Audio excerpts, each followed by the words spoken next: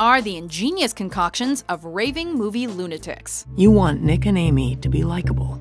After that, you invent. The spending, the abuse, the fear, the threat of violence. Welcome to WatchMojo.com, and today we're counting down our picks for the top 10 movie villain evil plans. Using these lasers, we punch a hole in the protective layer around the world, which we call the ozone layer.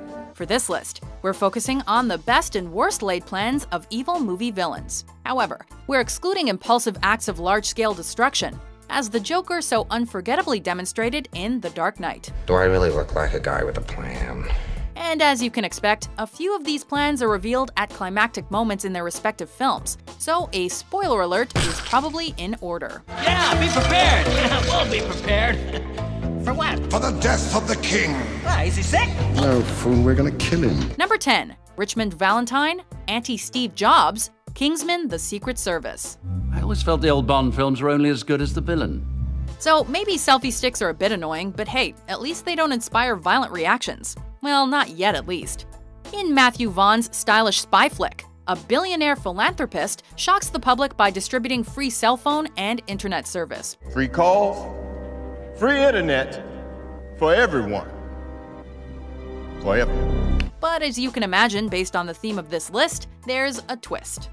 Richmond Valentine despises human beings and views humanity as a crippling virus to Earth that needs to be eradicated before the planet suffers irreparable damage. Global warming is the fever. Mankind is the virus. We're making our planet thick. A coal is our only hope. Like a true movie villain, he's loyal to a few pals, which means they receive protective chips in their domes. But everybody else? Nope. Remember, manners maketh man. Manners maketh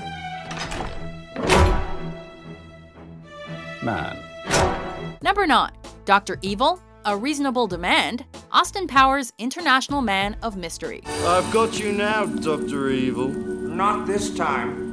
Come, Mr. Bigglesworth. See you in the future, Mr. Powers. Back in the swinging 60s, a bald headed maniac narrowly escaped a stylish spy known as Austin Powers. And when he returns from his cryogenic freeze to a wealthy lifestyle, well, he's not quite satisfied. Gentlemen, I have a plan. Perhaps suffering from brain damage and certainly not quite hip to modern times, I'm hip. Dr. Evil hopes to acquire a nuclear warhead and hold the world ransom. However, the plan has one major flaw. His ransom demand was rather reasonable. We get the warhead and we hold the world ransom for one million dollars. In light of this embarrassment, Dr. Evil picks a number out of the sky and manages to outdo himself by making an even more hilarious, yet still undoubtedly evil demand. One hundred billion dollars. Blame it on the 30 year nap. But I've been frozen for 30 years, okay? Throw me a frickin' bone here. Number 8. Skynet, Finish Her, The Terminator. In technical terminology, he's a loon. You never quite know who you'll meet in Los Angeles, and it's not uncommon to learn of secret conspiracies. But as Sarah Connor discovers in James Cameron's sci fi classic, sometimes they are speaking the truth. When Kyle Reese arrives from the future, he details the plot of an intelligence defense network called Skynet, which will not only threaten the human race, but also Sarah's future son, the leader of the human resistance. They say it got smart. A new order of intelligence. Then it saw all people as a threat, not just the ones on the other side. Decided our fate in a microsecond. Yes, that is a lot for one woman to handle, but there's more. A cyborg assassin, the Terminator. Now that's evil. It can't be bargained with. It can't be reasoned with. It doesn't feel pity or remorse or fear. And it absolutely will not stop. Ever. Until you are dead. Number 7. Simon Peter Gruber, Simon Says, Die Hard with a Vengeance. You are about to have a very bad day. Tell me about it. It's one thing to be a creepy movie villain, but what would such an evil person be without an equally creepy voice? I want to play a game. What kind of game? Simon says. Seven years after the death of Hans Gruber, a mysterious man by the name of Simon emerged in New York City to thoroughly ruin John McClane's day. This guy wants to pound on you till you crumble. He wants you to dance to his tune and then. Put on a dress and f me. I was going to say, kill you. Hoping to rob the Federal Reserve Bank of $140 billion in gold, the prickly villain begins a dirty game of destruction for no other reason than to mess with his unknowing enemy for a little personal enjoyment. Well, actually, there was a legitimate reason, and it has something to do with this guy a villain with an equally diabolical plan. Isn't brotherly love sweet? You know, your brother was an asshole. yeah, he really He was, was- an asshole. He was an asshole. You you got his number. Number 6. Palpatine, Sneaky Senator, the Star Wars prequel trilogy. Good, Anakin, good. Kill him. He's the senator from Naboo and one nasty looking dude. Call him Supreme Chancellor Palpatine or call him Darth Sidious. This is one evil politician. This force to be reckoned with originally appeared in The Empire Strikes Back, There is a great disturbance in the Force. but it was in the prequel trilogy when his origin story was told in full. The Republic will be reorganized into the first galactic empire. When a state of emergency presents itself, Palpatine makes sure that he's the one granted ultimate power.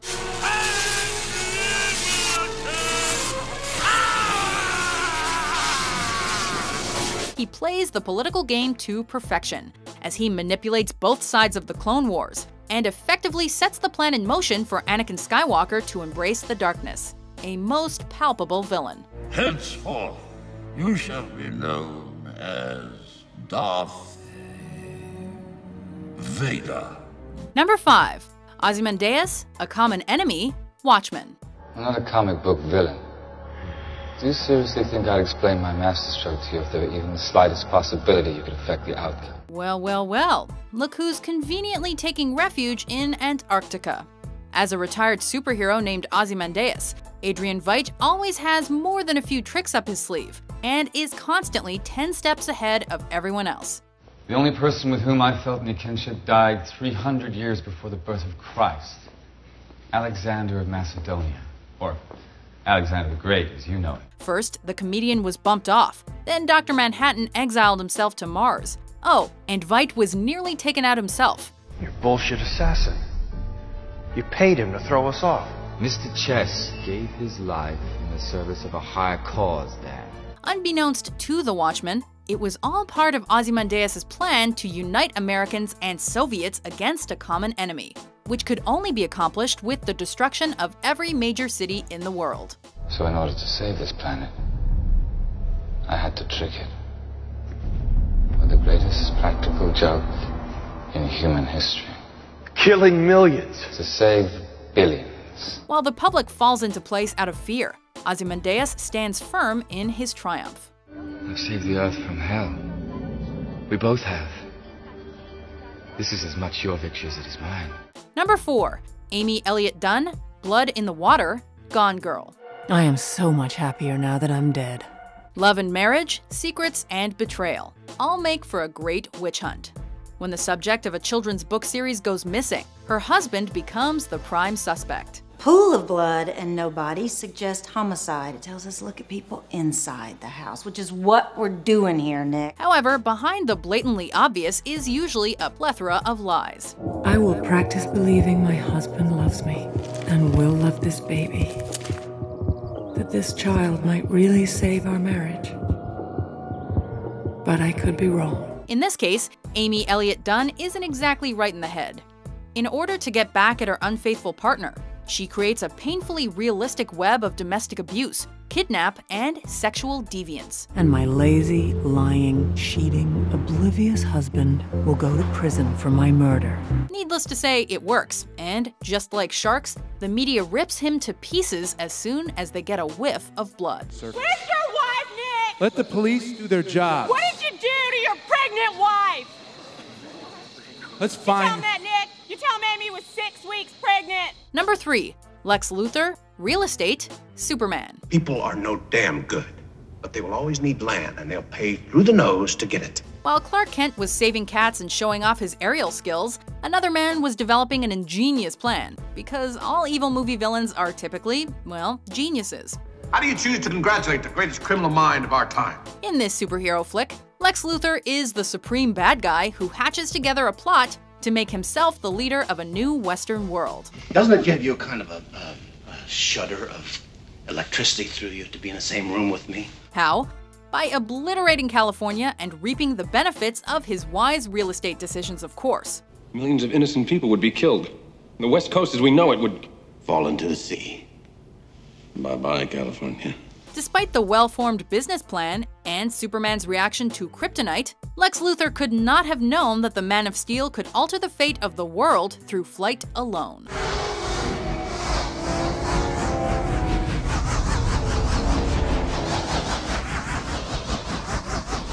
Number 2. John Doe, Envy and Wrath, 7. Detective! You're looking for me. Like we said, evil movie villains tend to typically be geniuses, and this is one of the best. I'm setting the example. And what I've done is going to be puzzled over and studied and followed forever. As detectives Mills and Somerset investigate a series of murders based on the seven deadly sins, the psychotic yet soft spoken John Doe always seems to be one step ahead of them. We had him and we let him go. That proves to be a fatal mistake for the detectives, who become an essential piece in the final part of Doe's plan. I feel like saying more, but I don't want to ruin the surprise. Any villain who's capable of concocting the twists and turns of this plan, and who's willing to die to see it all come to fruition, is an evil genius through and through. David, if you kill him, he will win. Before we unveil our number one pick, here are some honorable mentions. This is where we make the medicine. Oh, come on! You gotta admit this is cool! Just like a movie! The robot will emerge dramatically, do some damage, throw in some screaming people, and just when all hope is lost, Syndrome will save the day!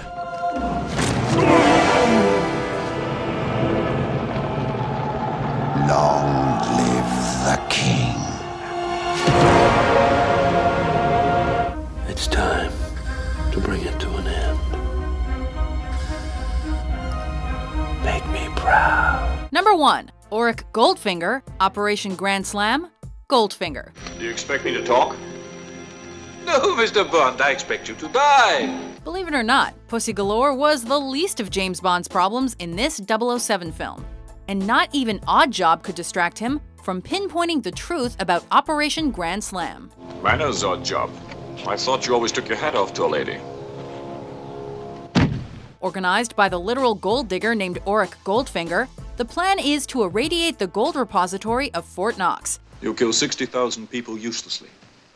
American motorists kill that many every two years. Thus elevating the evil entrepreneur to become the global leader of gold distribution. Well, if you explode it in Fort Knox, the uh, entire gold supply of the United States will be radioactive for 57 years. 58 to be exact. Of course, it also means the certain destruction of the American economy. However, Bond has something to say about that. You disappoint me, Goldfinger. You know Operation Grand Slam simply won't work. Even so, Operation Grand Slam remains the most evil and brilliant of movie villain plans. Operation Grand Slam will be successful. You will be there to see for yourself. Too close for comfort, I'm afraid. Do you agree with our list? I'll be back. What's your favorite movie villain evil plan? Do you hear me, Detective? I'm trying to tell you how much I admire you. For more mind blowing top 10s published every day, be sure to subscribe to WatchMojo.com. This ain't that kind of movie, bruv. Perfect.